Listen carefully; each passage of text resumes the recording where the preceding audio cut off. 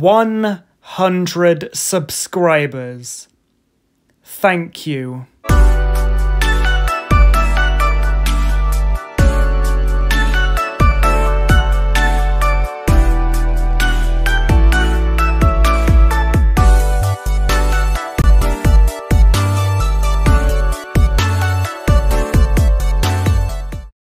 Seriously, thank you so much, everyone. I couldn't have made it this far if it wasn't for you subscribing, liking my videos, leaving comments, and just watching my videos and listening to my stupid opinions. I'm so happy we were able to do so much in just a year.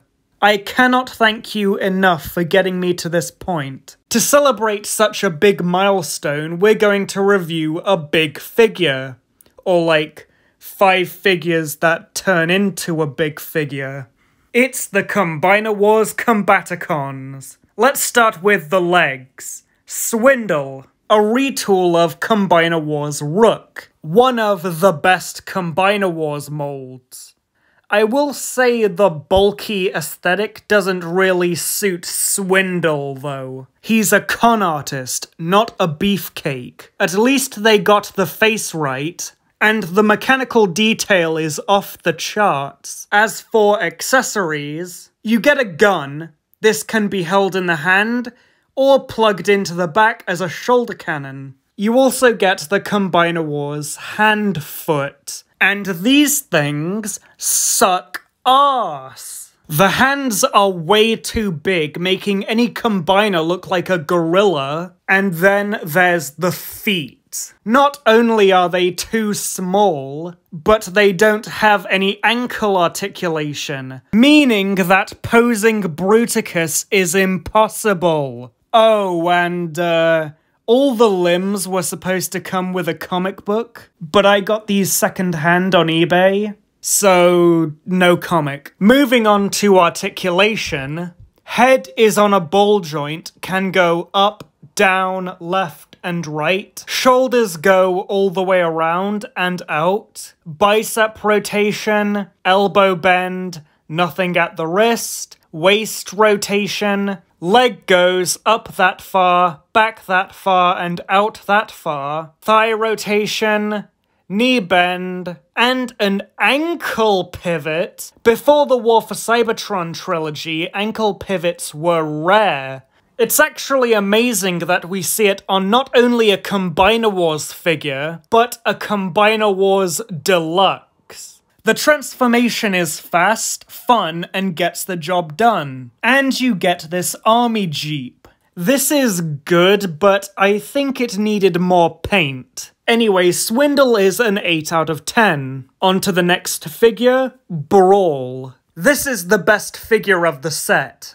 I love this design. The original was a bit more blocky, but I definitely prefer this. The rounded shape seemed to give him some extra bulk. And the face is amazing. This has got to be one of the best mouthplate faces, along with characters like Tarn and Grimlock and the other Grimlock. As for accessories, you get another crappy handfoot, and the turret can come off his back and become a gun. I prefer to keep it on his back. Now, the articulation here is something special. Head only rotates, arms go all the way around and out, elbow bend, elbow rotation, nothing at the wrist, waist rotation, ab crunch.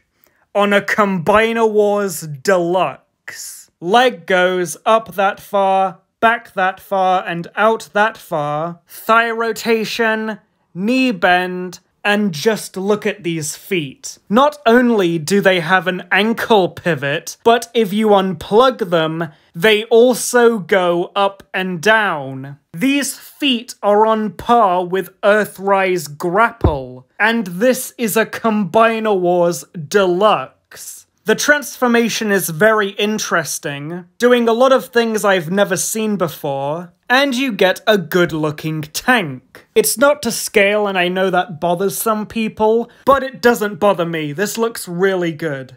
Brawl is a 10 out of 10.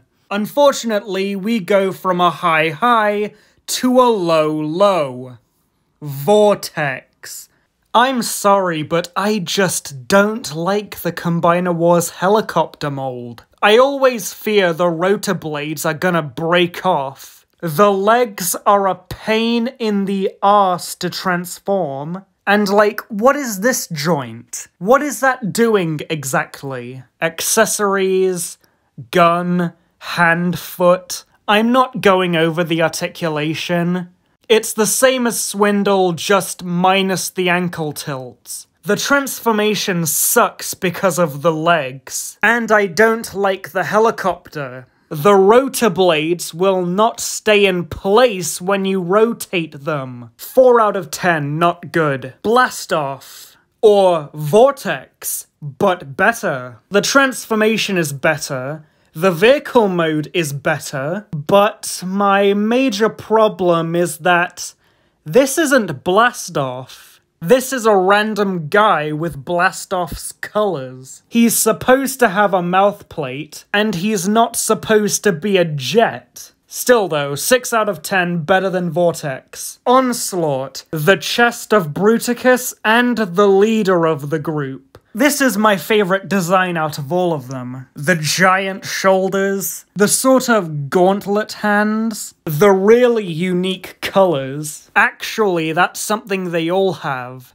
Very unique colors. As for accessories, you get two shoulder cannons. These can be held as guns, but that would be heresy. So yeah, they're staying as cannons. As for articulation, Head is on a rotation. Arms go up that far, back that far, and out that far. Elbow bend, elbow rotation. Nothing at the wrist, nothing at the waist. Leg goes up that far, back that far, and out that far thigh rotation, knee bend, and that's it. The transformation is simple but complex at the same time, and you get this very long truck.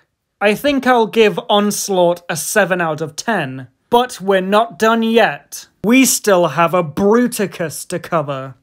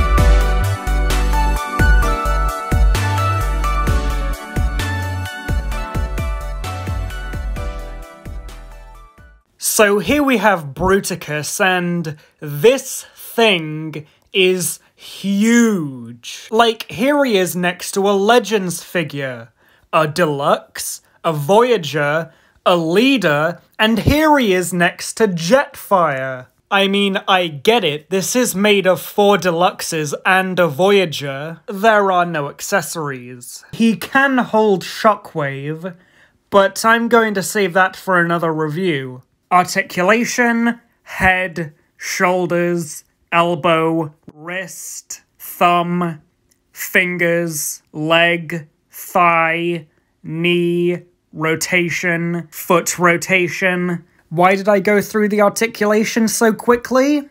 Because it's all basically pointless. And do you want to know why that is? Because of these useless feet. I seriously need to get an upgrade kit just to replace these feet. The hands I can deal with, but the feet are just awful. So I'm going to give the whole set a 9 out of 10. It has three great figures, one okay figure, and one bad figure, at least in my opinion. That's it for me. Please be sure to leave a like and a comment, join my Discord server, and subscribe to The Great Soundwave. And once again, thank you for 100 subscribers.